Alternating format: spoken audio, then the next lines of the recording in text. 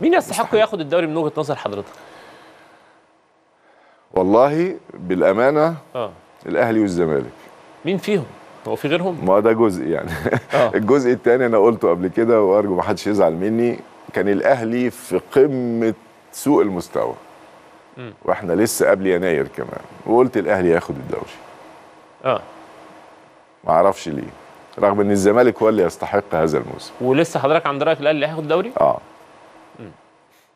وما حدش سالني ليه يعني بس ما أعرفش الأهلي عودنا على كده. لكن أنا والله وجهة نظري بالأمانة فعلا اللي يستحق الدوري هذا الموسم هو نادي الزمالك. لكن أنا شايف الأهلي اقرب شايف إن خالد جلال مهمته صعبة ولا سهلة مع الزمالك؟ آه، ما هي هي هي يعني المهمة.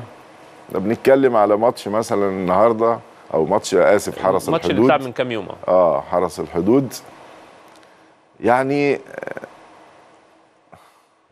لا أو خلينا هنقول بشكل عام المباريات بتاعت نادي الزمالك هو محتاج يكسبها كلها بما فيها النادي الأهلي.